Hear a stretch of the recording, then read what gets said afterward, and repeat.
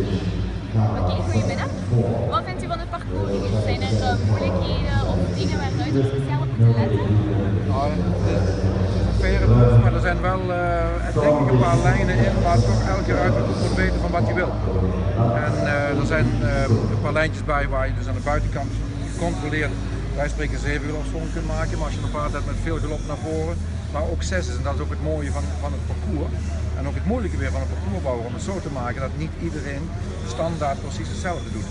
En heel belangrijk met zo'n parcourslopen is natuurlijk dat de ruiter moet zijn paard goed kennen. Hoe die landt, hoe die, uh, hoe die reageert tussen de sprongen. Dus ik denk wel dat een hele mooie proef is. Het is moeilijk genoeg om op een twee-ster uh, met 80 deelnemers toch te bouwen dat we geen 60 nullers krijgen. Maar ik vind de verrepoel is mooi, maar er zouden toch wel links en rechts wat fouten gemaakt worden.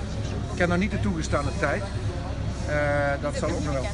Nee, dat, dat telt ook vaak mee, want hoe korter de tijd is, hoe moeilijker dat wordt.